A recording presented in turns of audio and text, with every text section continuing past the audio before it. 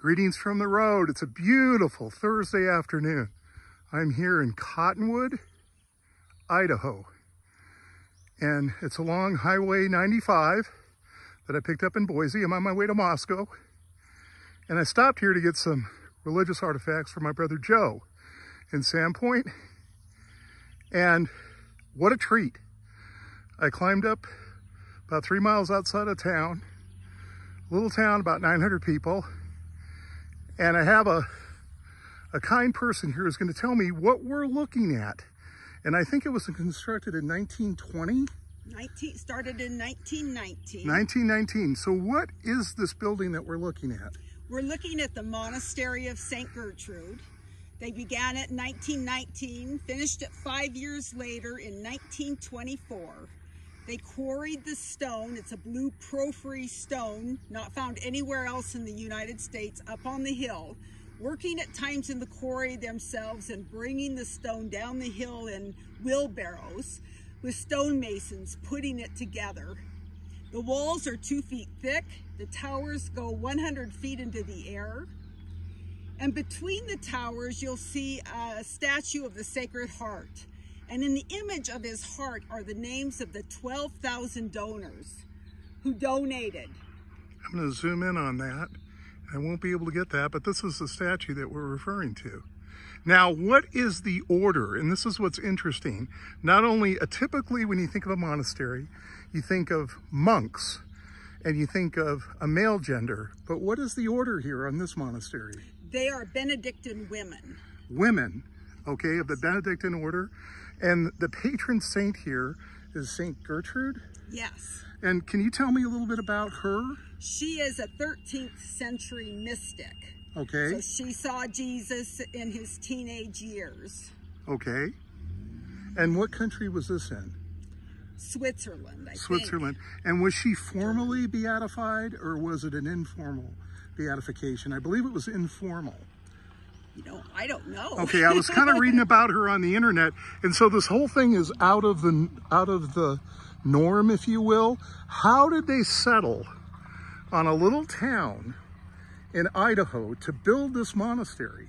Well, first they were coming from Switzerland. Um, there was a Protestant Reformation going on in, in the 1880s. So there was persecution. Well, yeah, uh, yes, for yeah, Catholics, right. they were a cloistered order, meaning when you go in, you never leave those walls again. Oh my goodness. But even though they were cloistered, they were worried that they may be kicked out.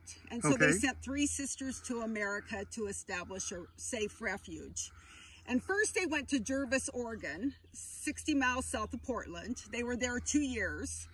Then went to Uniontown for 10 years, Uniontown, Washington, um, for about 10 years, outgrew their little convent, uh, moved three miles away to Colton, built St. Scholastica's Academy and convent. And in 10 years, it becomes too full. And at that point, they decide they shouldn't move again. They should split, be one order with two homes. So they did that. And there was a John and Gertrude Uhlenkott family here. They had two daughters who were sisters. They wanted them back. So they offered them 85 free acres if they would come here. Oh my goodness. So they did. And first they built a, a small little monastery over where the high school is now. Um, and, and they, they built that in 1910, outgrew it. Nine years later, they began building this. And for 20 years, they have two convents. And then um, one of the founding sisters dies. And when she dies, um, they keep it going for five more years. It isn't going very well. They sell that place. They all come here, which makes this too small. At their height, they had 184 women living here. Oh my goodness. So they built the brick annex um, that you can see. And that's over here to the left. Uh-huh. It added 70 bedrooms. So if you look at how close those windows are, you can see those bedrooms are really quite small. They're more of a little dormitory room. Well, and you cells. oh, the little cells even smaller than that. And you mentioned, now over here, folks, we have a high school. And this is what's really interesting. Originally, this was a denominational high school, right? The sisters built this school. And now it's a public high school.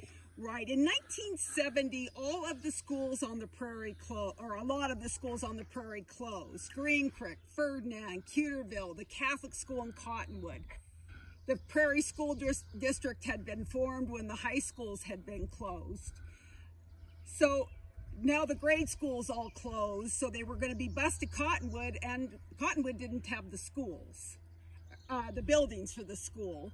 So the sisters closed St. Gertrude's Academy, sold that to the school district, and that has been the public high school ever since. So here we have a situation where an order of female nuns actually takes and helps construct something and gives it back to the community for it to become a non-denominational community asset, which is unusual, but especially given that it's a female order. And I'm gonna I'm gonna walk here and we're gonna show you, we're elevated here.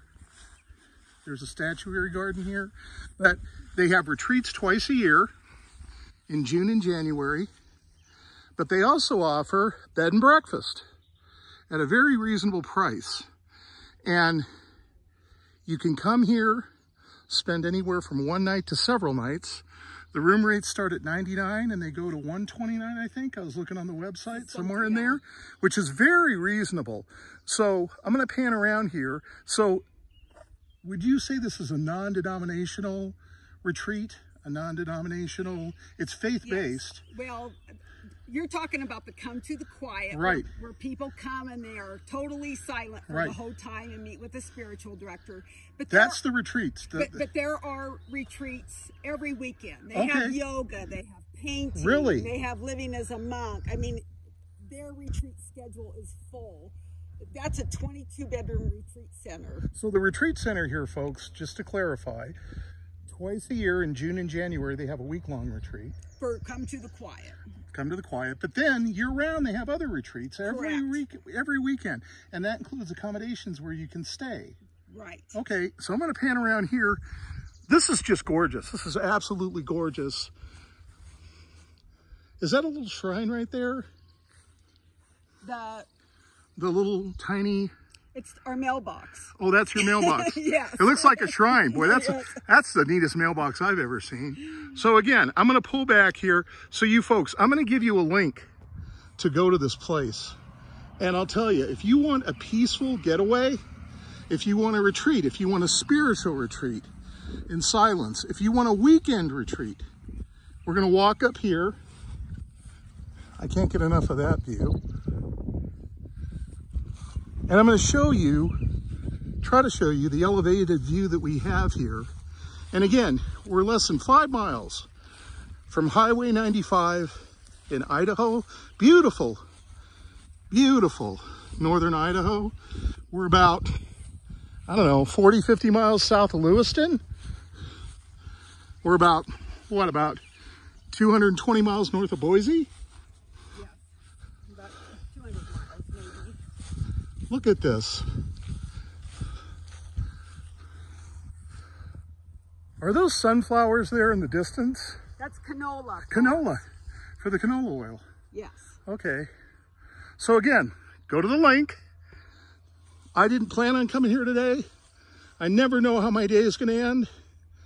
I'm directed by a higher power, let's just put it that way. But I'm so glad I took the time to come here.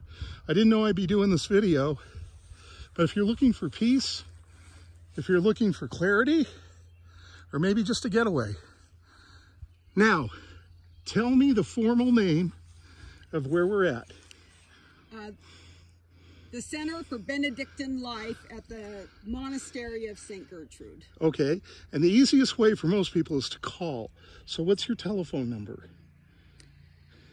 Well, the museum is 208 208 962 962 2050. 2050. So you can start there by making a phone call. This is Freighter Jim. Remember, drive safe, arrive alive, take the two lane. You'll never know what you find. Have a great day.